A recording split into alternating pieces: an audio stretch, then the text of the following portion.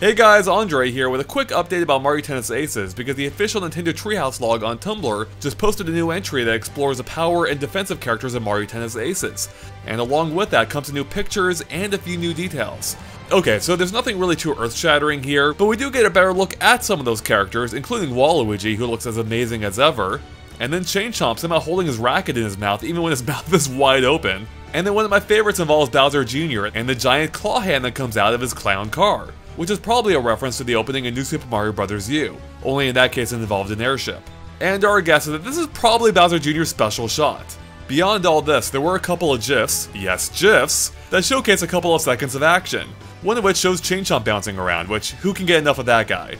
But the important thing here is that in both of them, a little Toad announcer appears in the corner. And it seems like it kind of points out the obvious, like specific shots you perform or an ongoing rally. So I'm not fully sure what his role is here because we haven't seen him in any of the gameplay yet either. Maybe he only appears in the stadium setting, which might make sense. And with that, we're about done here, but you can find even more pictures on the official Nintendo Treehouse log, which you'll find a link to in the description below.